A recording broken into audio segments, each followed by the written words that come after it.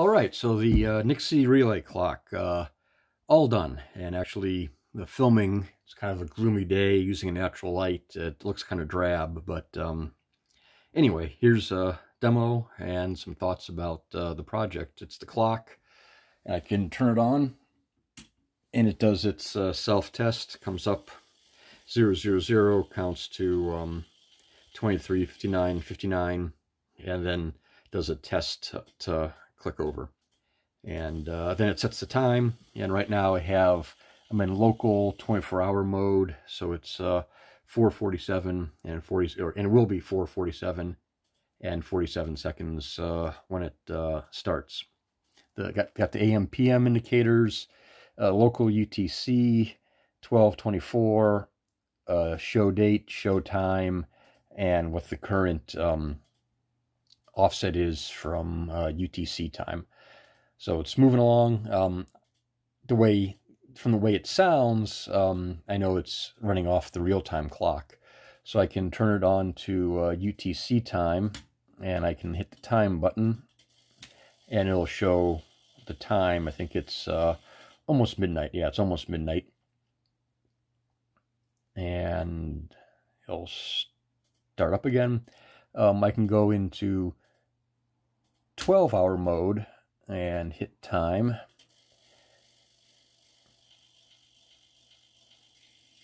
And now you see it's uh, 11.48 p.m. Um, that's UTC time. And it clicks along. I can switch it over to local time, hit the set time, and again, it adjusts to now it's 4.49. It blanks off the leading zero and it uh, shows the uh, time. I can hit the date, and when I hit the date, shows today's date, October 30th, 2021. And uh, then it goes and it shows the time again. And so I usually like seeing it in 24-hour uh, mode so I'll I'll do that, and we'll see if it picks up the GPS signal uh, inside. I'm, I'm, away from Windows, but we'll know because it'll it'll resync, and then the cadence of the uh, seconds will be different. So it's all done. It's ready to go on the shelf someplace. You know, turn it on. Um, the clicking, it's a lot more mellow with the case on. It was kind of loud. Now it's kind of how you'd want it. Sounds it sounds like a mechanical clock, and so I, I like that. Um, and the um, the layout of the bezel uh, and the front panel, it turned out okay. There's a lot of dead space over here. I'm not quite sure what I would have done with that. It was it was really tricky. You know, it, it's really really tall. So if I could have done it differently, maybe it would have had you know AM PM over here and the and the setting of the offset maybe in the back if I could squash it down more. But I was really limited on the case and I'm not crazy with the um, with the boring beige on the case. Maybe if I, I don't know, if I get crazy, I could like paint it like navy blue or black or something. But um, it's fine. It's fine. It's an it's an industrial, you know, quasi fifties fifties punk kind of um, kind of look to it. So and it's retro, so maybe that's okay. But it you know it does the job. It makes the noises that I want it to make. Um, I'm glad it didn't have all the you know hour minutes and reset and advance and force GPS and GPS status. There's just way too much stuff. I like sort of the simplicity here.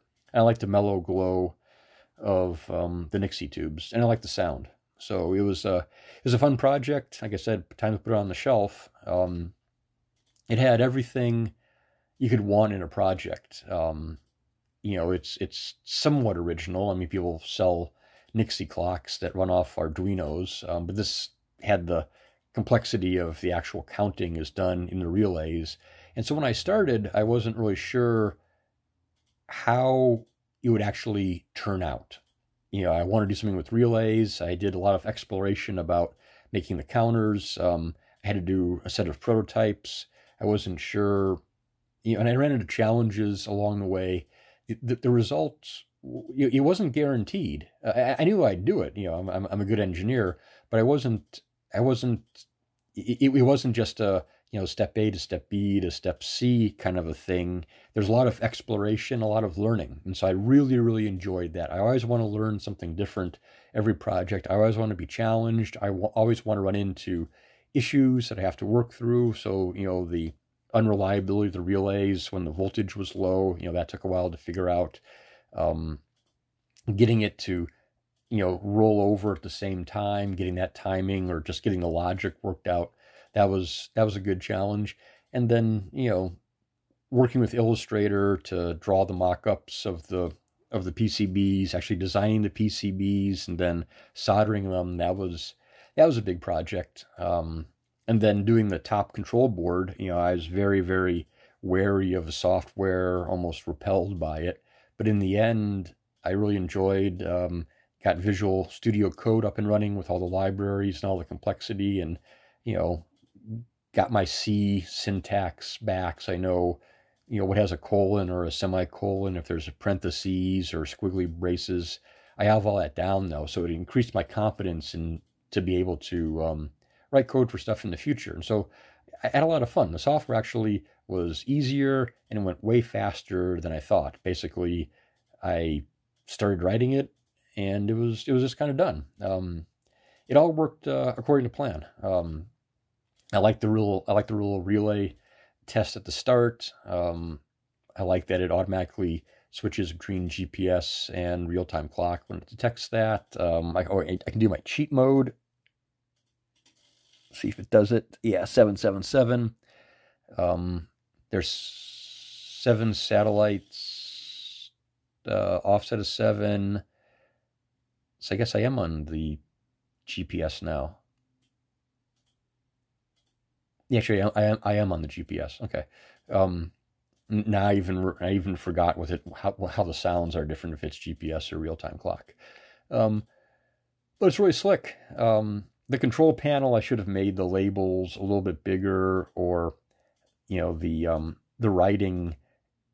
The laser was really finely focused, so it's really hard to see. And I should have done how I did it on the um, the sound generator where it wasn't just a draw. It did sort of a, a area etch to make those. I didn't think it would be, it would turn out that sharp and that fine. Um, but it's okay. You know, I mean, whatever. Um, um, and then I think, uh, had I been thinking, I would have actually gone through with some paint and filled it in better because again, that black, it's not necessarily supposed to be black. That's just kind of the charring. And um, I, I washed the the metal because I super glued some stuff on the inside. I think I washed out a lot of the stuff that makes it black. But okay, project for next time. But I really enjoyed the project. It's the funnest thing I've done, you know, during COVID for sure. Uh, most challenging, you know. I spent started this in June sometime, so it was a four month project. Like I said, 300, 400 hours in it, and mostly in the learning and the experimentation, the screwing around, figuring stuff out. You know, that's what makes it really fun, and that's what makes made it really enjoyable um, as a project. And it's going to be hard to find something that's that you know challenging. You know, this is this is this is sort of a unique thing that I built, um, or you know, a, a unique to me. Did it my way. You know, other people do relay clocks that you know count in binary or BCD, and they drive stuff.